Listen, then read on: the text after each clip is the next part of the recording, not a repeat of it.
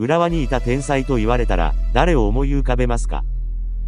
小野伸二、コンテ、エメルソンなど様々な選手がいますが、実は一番の天才は山田信久と陰で言われています。今回はその山田信久について紹介したいと思います。山田信久は1994年に藤枝東高校を卒業後、浦和レッズに入団。2013年まで浦和一筋でプレーしました。山田信久には様々な伝説のエピソードがあります。その1、脱臼で全治3週間と診断されたが、10日で復帰した。しかし怪我には強いが、年に何回も風邪をひく。その2、アンダー23の代表で、海外合宿を、怪我でもないのに当日の朝にドタキャン、結婚式の準備があったとかいう噂。その3、プロ選手なのに、マッサージをしない。そのせいで、チーム1の速さで帰る。しかし怪我はしない。その4、練習場を出て曲がっていく方向を見ると、家に帰るのかパチンコに行くのか分かった。その後、外国人選手、ペトロ、式に、今、海外で通用するのは、小野より山田、と言われたくらい、周りから評価されていた。ちなみにその外国人は、今はバルセロナの幹部と、ペイエノールとの元コーチを務めている。その6、海外に興味ないの？と聞かれ、飯がまずいからやだと答える。その7、某左サイドの選手が、泣き出すほどひどいヤジの駒場バックスタンドの前で、10年以上平気な顔で、軽さ全開。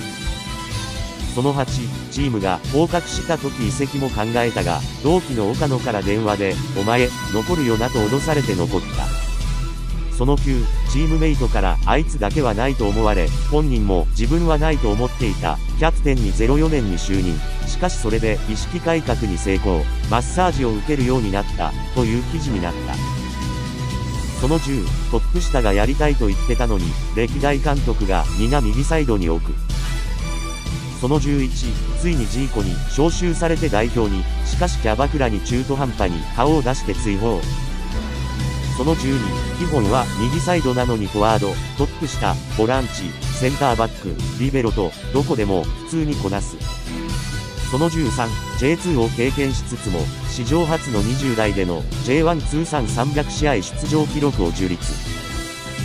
その14、300試合記録試合と400試合記録試合は、普段は不動のレギュラーなのになぜか途中出場。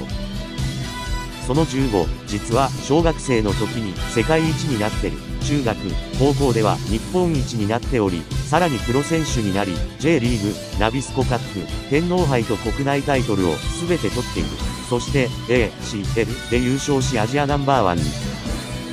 その16、現役中なのになぜか自伝本を発売。そこからはタリーさんと呼ばれてるのに、タイトルは、火の玉ボーイ。